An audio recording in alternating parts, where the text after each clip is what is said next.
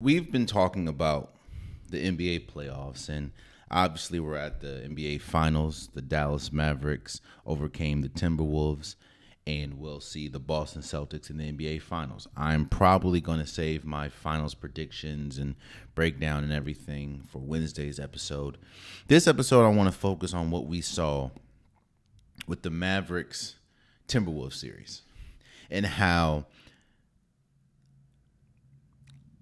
how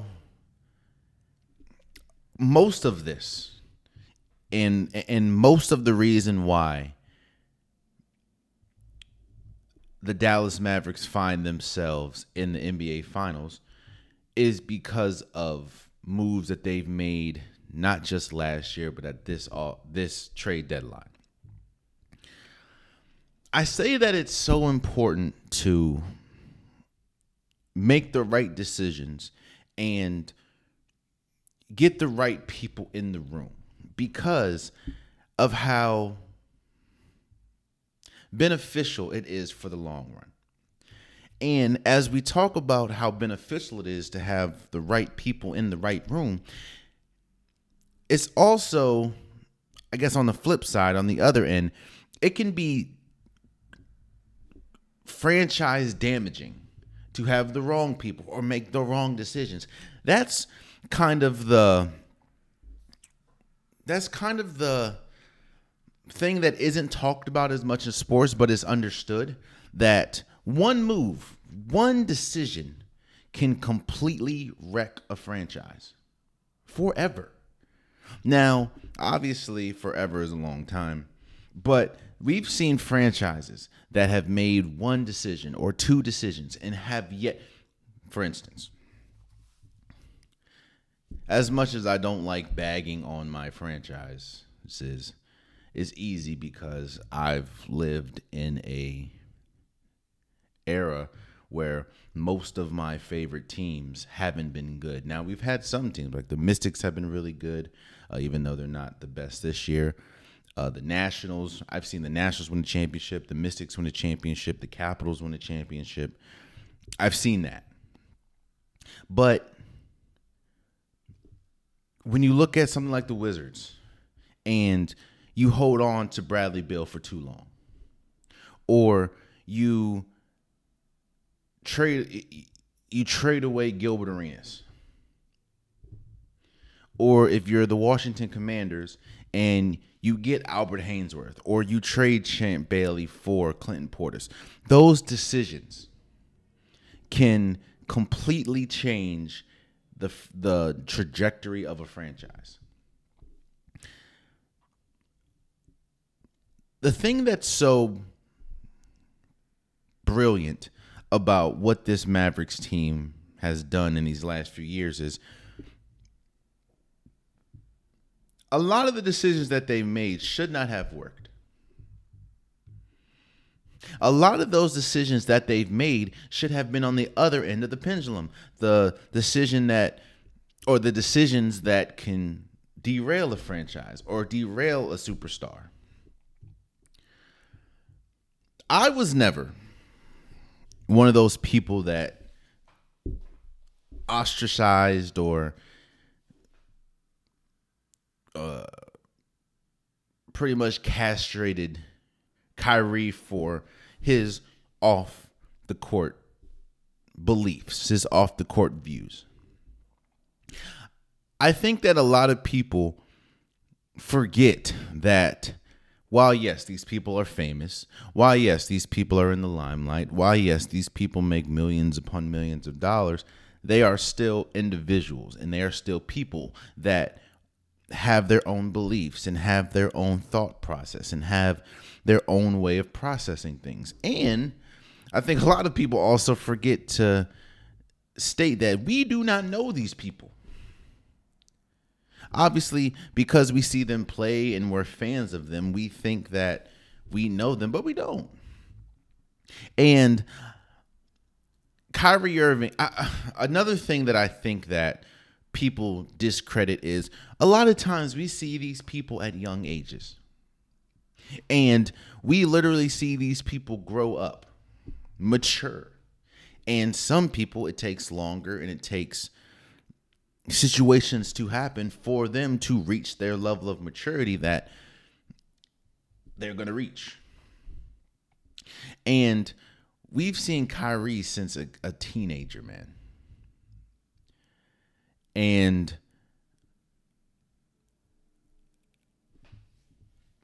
we also uh, a lot of fans like our stars. A lot of fans like the people that we look up to to live a certain way and that's just not always the case. Yeah i do think that it was a mistake that you know Kyrie Irving posting the article or posting the documentary that had anti-semitic viewpoints in it. I don't think the whole thing was anti-Semitic, but it did have viewpoints. And I do think that Kyrie Irving could have handled the situation better, especially. And I said that. I said if you dis if if somebody feels disrespected, it doesn't really matter what your intent was. It's just what happened, and that's on you now to, I guess, rectify the situation if you want to.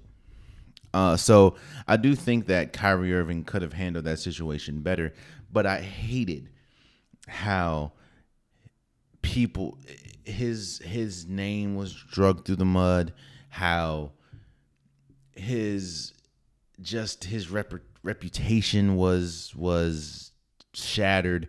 I hated all of it.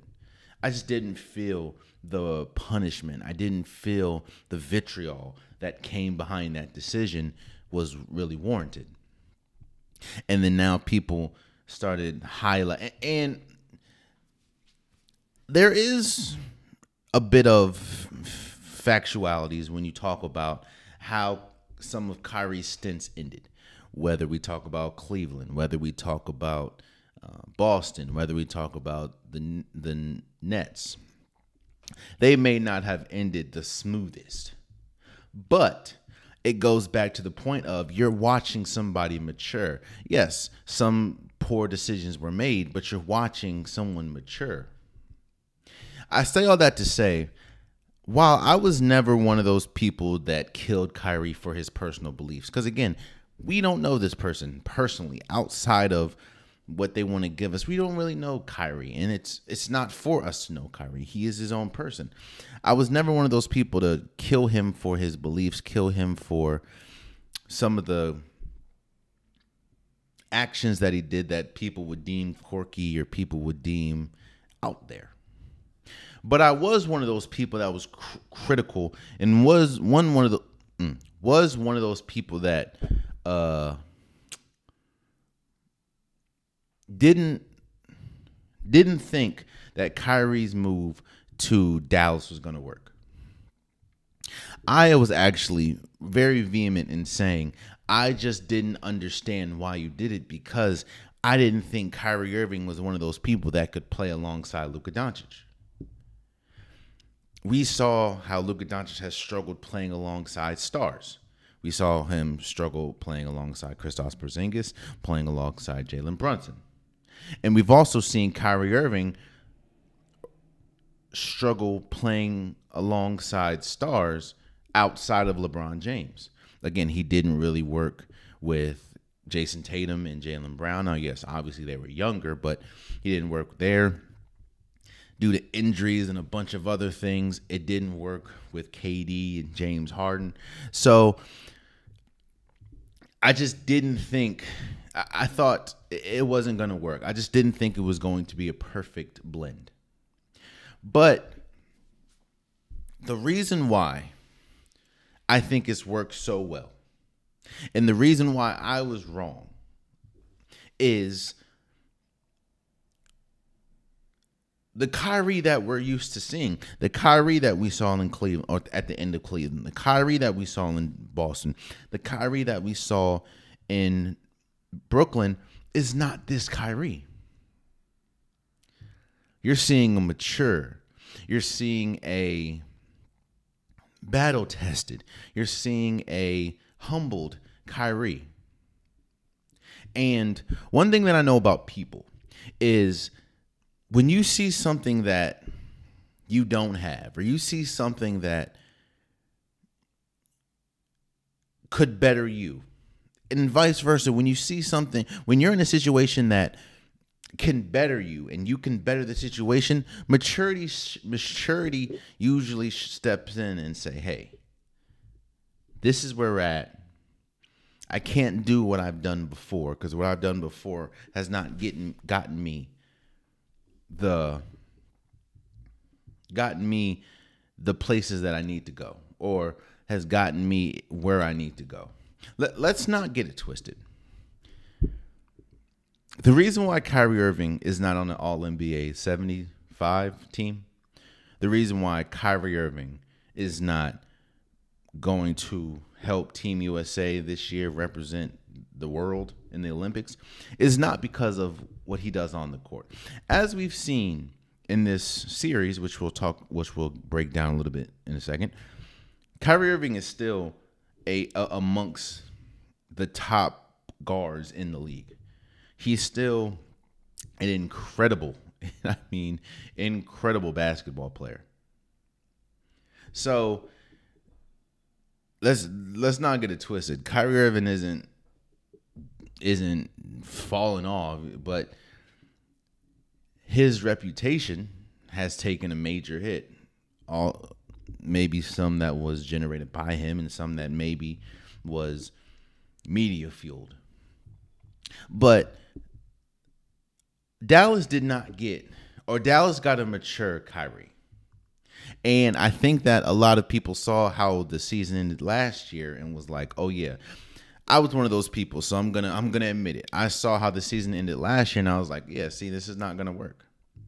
And I saw how this season began, and I was like, "Yeah, it's, it's not."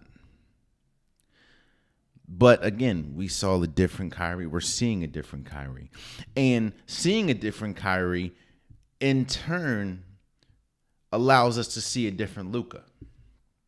You see, all the stuff that we talk about with Kyrie Irving, you can talk about with Luka in a sense of you can be as great as you are. Luka is one of the best players in basketball. Let's not get it twisted. When we talk about the game of basketball, Luka is one of the best. But even in that, you need to know how to play with others. You need to know how to utilize your team because as great as one person is you will there's never been a team in the history of basketball that has won a championship because they have one good player and everyone else and that one good player never integrated everyone else. I don't think jalen brunson would have been who jalen brunson is now if it wasn't for what happened in dallas. I don't think kristaps porzingis would be as good as he is now if he didn't go to Dallas. But I do think that a lot of those two situations not working was because of the lack of rigidness or the rigidness, I'll say, that Luka had. But when you see Kyrie and you see someone that has in, in certain instances have struggled the same way Luka has struggled as far as team building, and you see that okay, I'm going to I'm Kyrie is going to dim his light so Luka can shine brighter. I think you see that as Luka and you see that as Kyrie and say, okay, we're gonna get this together. And then on top of that, you go out and get key pieces like a Daniel Gafford, like a PJ Washington. Oh man, you stayed to the end of the video. I appreciate you. If you like what you saw, be sure to hit that subscribe button so you'll never miss any content from your boy. You can also go back and watch past episodes, past clips, and don't forget that the Unpopular Podcast new episodes drop every Wednesday and Saturday. Appreciate you.